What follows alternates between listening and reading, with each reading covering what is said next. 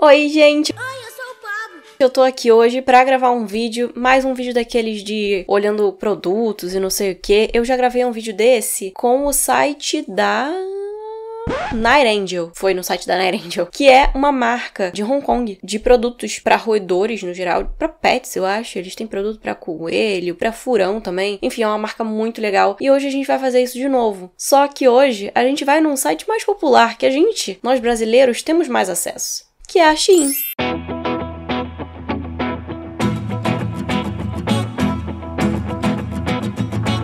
Antes de começar, você já vem aqui, já deixa o like aqui embaixo, se inscreve no canal. Ah, eu sou aquela chata que sempre pede o que é um comentáriozinho. Você é uma chata. Fala o que, que você achou do vídeo. Ah, e se você quer que eu traga mais lojas, se você quer que eu veja mais coisas assim, mais sites que vendem produtos e tudo mais. Ah, cala essa boca. E, enfim, é isso. Agora vamos lá. Ó, eu já tô aqui no site da Shein. Eu vou começar a gravar minha tela agorinha. Já está gravando? Eu não sei. Gente, tá gravando ou não tá? Não sei. Tá. É isso. Não tá, tipo, em nenhuma conta, né? Não tá logado em lugar nenhum. Logado na minha conta do Google mesmo, normal. Mas aqui na Shein eu não estou logada. Então vai aparecer aqui pra mim de tudo, sem que o algoritmo já conheça o meu gosto, né? Os meus interesses. Então eu vou procurar aqui hamster, né? Podemos começar só com hamster. Hamster. Pra ver o que, que a gente vai achar. E vamos lá. Não, ai. O primeiro produto já é super problemático, que é uma coleira, né? Uma coleira e ainda por cima tem asinhas.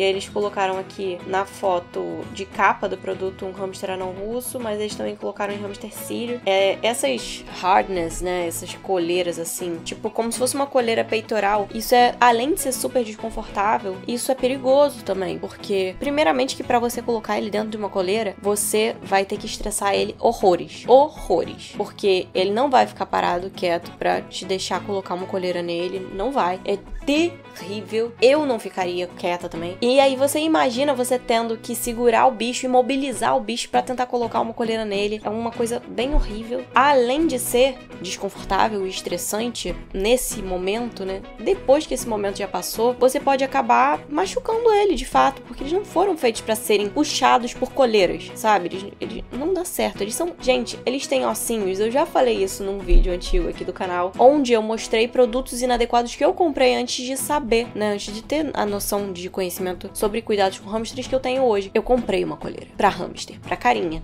inclusive. E depois eu fui descobrir que, tipo, isso era muito sem noção. Ai, meu pai amado.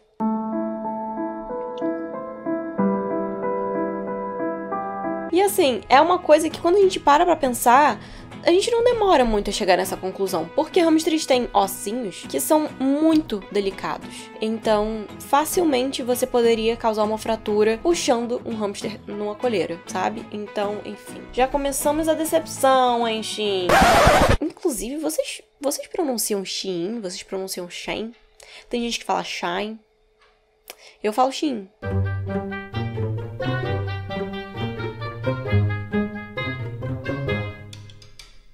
Acertou! Ah, miserável!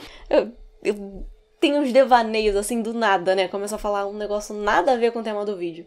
Mas é, sou euzinha, né? Meu jeitinho. Vamos continuar aqui pro site. Vamos ver os próximos produtos. Um, tá, o segundo produto que eu vejo aqui é uma bolsa de transporte, né? E é, eu também já tive uma bolsa muito assim nesse estilo. Eu comprei na Shopee. E a grande questão sobre essa mochila, sobre essa bolsinha, é o fato dela ser de tecido, porque aí você bota o animal dentro e ele pode facilmente roer esse tecido por dentro. E ele pode escapar, ele pode acabar engolindo acidentalmente esse tecido ou essa espuma, porque essa, essa bolsa ela é fofinha, então ela tem espuma. Então, isso é perigoso e não é seguro, porque tipo assim, você não pode confiar que você vai colocar o animal ali e você vai conseguir transportar ele com segurança, porque ela é facilmente ruível. Então, é muito fácil de um animal escapar daqui principalmente um hamster, né? Que é um bicho que, que não para quieto. Inclusive, eu acho que com a minha experiência com gerbil agora, eu diria que com gerbil deve ser mais difícil ainda. Então, é outro produto que eu não indico que ninguém compre para um animal de pequeno porte, assim, roedor. sabe? Talvez pra camundongo funcione, mas ela parece também ser bem pequenininha, né? É, 12 centímetros de comprimento, 5 de largura, tipo, é muito pequeno. Então é meio desconfortável também, né? Meio para qualquer animal, porque é pequeno demais. E vamos pro próximo que é um kit de brinquedos. Ai, a China, né? Eu amo. Ah, o hamster na serragem na foto aqui, sempre, sempre. Mas enfim, vamos dar uma olhada nos brinquedos? Olha só. É, nós temos aqui uma, um brinquedo daqueles de pendurar. E eu tenho um brinquedo exatamente igual a esse. Porque eu também comprei na China, inclusive. Vocês vão ver em breve um vídeo de recebidos da China algum momento nesse canal. Eu recebi uns brinquedinhos desse. Esse daqui, cara, que é tipo uma bolachinha de madeira, outra bolachinha de madeira e como se fosse uma gaiolinha com um guiso dentro. Eu achei esse brinquedo super interessante se ele não tivesse o guiso, cara porque esse guiso é meio desnecessário, não é um, um, bom estímulo. Eu tenho medo de aquela bolinha que tem dentro do guiso acabar saindo acidentalmente e o hamster acabar colocando nas bochechas ou enfim porque é uma bolinha bem pequenininha, então acho isso problemático, mas eu adoraria que esse brinquedo fosse um brinquedo de abrir e fechar, que você pudesse colocar a semente dentro. Isso ia ser muito legal. E aí tem uns outros brinquedinhos aqui de roer, é, uma cenourinha,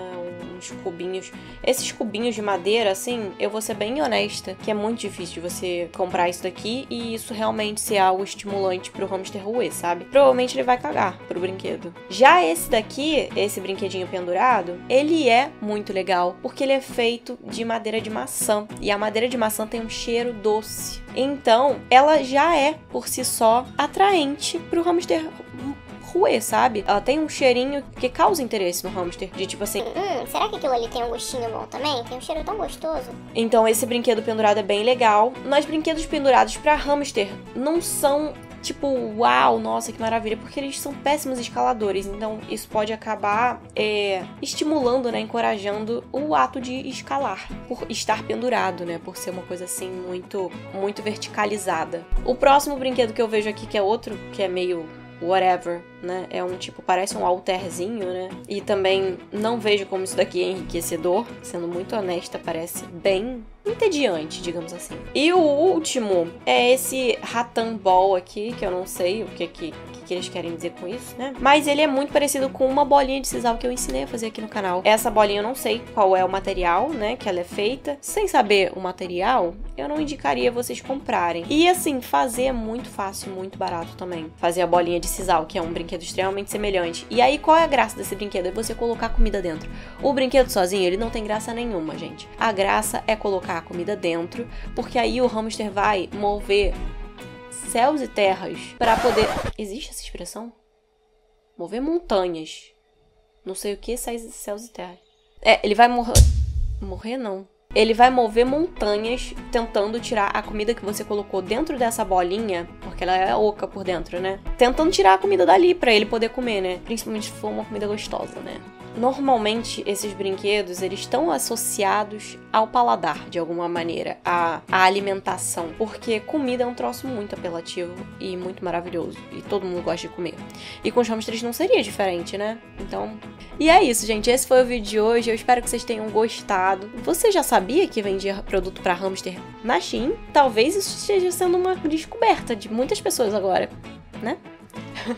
então me conta aqui se você já sabia que a Shein vendia produto para hamster, o que, que você acha dos produtos da Shein, o que, que você achou dos produtos que a gente viu aqui nesse vídeo, você ficou com vontade de comprar alguma coisa, enfim, conversa comigo que eu adoro conversar com vocês. Muito obrigada por terem ficado aqui comigo, não esquece de deixar o like aqui embaixo se você gostou do vídeo, se inscreve no canal também, um beijinho e tchau!